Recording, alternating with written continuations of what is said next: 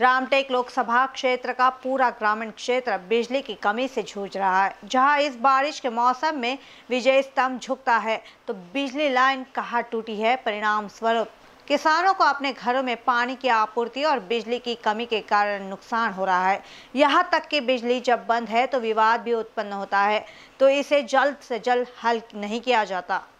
उमरेड तहसील के तोबरा गाँव में पीने के पानी की आपूर्ति छः दिनों से बंद है। इसका कारण यह है कि बिजली के खंभे पर विद्युत लाइन की गर्मी चोरी हो गई है। परिणाम स्वरूप क्षेत्र में कृषि के साथ साथ पूरे गाँव को बिजली की आपूर्ति काट दी जाती है।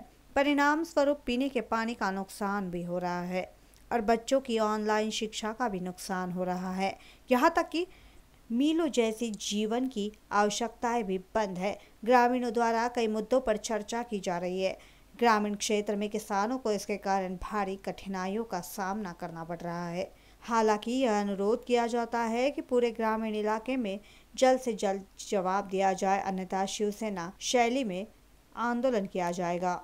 जय महाराष्ट्र, मैं विनोद साहू, रामटेक लोकसभा क्षेत्र ग्रामीण विभाग में बारिश के वजह से बिजली के खंभे टूट गए हैं, जिसकी वजह से पूरे ग्रामीण क्षेत्र ग्रामीण क्षेत्रों में बिजली की आपूर्ति हो रही है।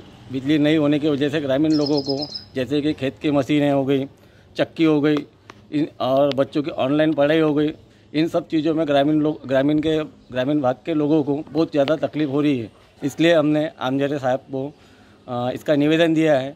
उन्होंने हमें आश्वासन दिया है कि ये आपके जो, आपका जो निवेदन है, इस पर हम जल्दी, जल्द से जल्द कार्रवाई करेंगे।